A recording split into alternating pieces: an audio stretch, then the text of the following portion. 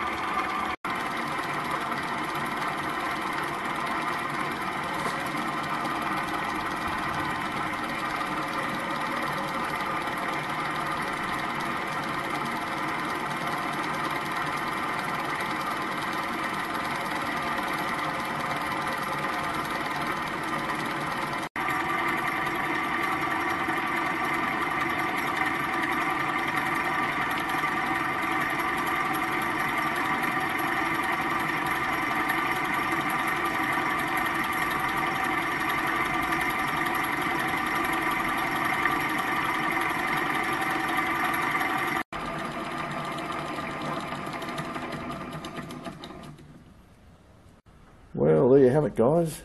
Persistence paid off in the end, and yeah, she's running like a like a top. Beautiful, fantastic.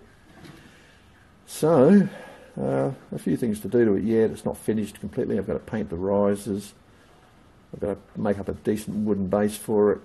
I've got some jarrah I think I'll use for that. And I've got to make up a pot for it, at Metho pot. This is the one from the Banggood engine. So I'll make one out of similar sort of dimensions, uh, maybe aluminium or see what brass I've got. And then, yeah, job will be done.